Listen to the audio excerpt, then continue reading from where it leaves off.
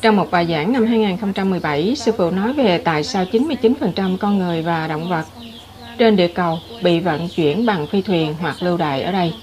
Từ những tinh cầu có kỹ thuật cao và tân tiến khác, mà ở đó chính phủ khắc khe hơn và kiểm soát chặt chẽ hơn, và những người bị đày tới các tinh cầu như địa cầu đã bị cho uống cháo lú hoặc chất độc, khiến họ quên đi cội nguồn của họ. Thưa sư phụ, sự lãng quên hay tình trạng bị thôi miên này có phải nguyên thủy là rắn bên trong con người mà sư phụ đã nói gần đây không? Và có phải đây là nơi mà ngã chấp xuất phát? Bởi vì có nhớ Thượng Đế nói, chúng ta được tạo ra từ đất không? Dạ nhớ. Dễ cho chúng ta sa ngã. Dạ nhớ thưa sư phụ. Người từ các bụi sinh ra, rồi trở về với các bụi. Dạ thưa sư phụ. Chúng ta được tạo ra từ đất, thảo nào và từ một ít nước và một ít sắt, một ít vàng trong đó, một số bụi vàng bên trong. Quý vị có thể có nhiều vàng hơn nếu rằng của quý vị được bọc vàng, bằng không chúng ta chẳng có giá trị gì. Dạ đúng, phân tích chúng ta thì mình có những gì? 90% nước bên trong và một số bụi đất.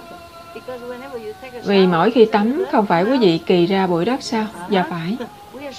Chúng ta thay da như rắn, rắn lột xác để tái sinh mới lại. Chúng ta có thể tái sinh mới lại mỗi ngày khi mình tắm kỳ ra một số bụi đất từ đầu tới chân. Dạ. Bụi đất từ đâu đến vậy? Chúng từ bên trong da thoát ra ngoài không đúng sao? Cho dù quý vị ngồi trong phòng sạch sẽ cả ngày với máy lạnh và màn hình, đủ thứ, nhưng khi tắm quý vị vẫn kỳ ra bụi đất, vậy chúng ta là từ đất không đúng sao? Dạ phải, và bản chất của bụi đất chính là bụi đất mà thôi. Không có nhiều thông minh trong đó, nên thân thể không có gì nhiều lắm, chỉ là một tòa nhà, chỉ là một ngôi đền và cái ở bên trong mới quan trọng, linh hồn. Thành ra chúng ta phải tập trung vào chỗ ngồi của linh hồn ở đây, nhớ không? Dạ nhớ thưa sư phụ, hãy nhớ chúng ta là linh hồn. Mỗi lần chúng ta nhớ lên đó, linh hồn nắm quyền làm chủ trở lại. Thành ra quý vị có thể đi lên thiên đàng, có thể thấy ánh sáng nguyên thủy của mình từ thiên đàng và nghe giáo lý từ thiên đàng trong hình thức âm nhạc. Siêu phàm. Như thế đó, bằng không chúng ta không là gì cả, thân thể này không phải là mình. Dạ, Quý vị đang nói chuyện với ai đây và tôi đang trả lời ai đây? Tôi không biết. Tất cả đây là ai? À, đúng vậy. Nhiều lần tôi cố gắng đóng lại.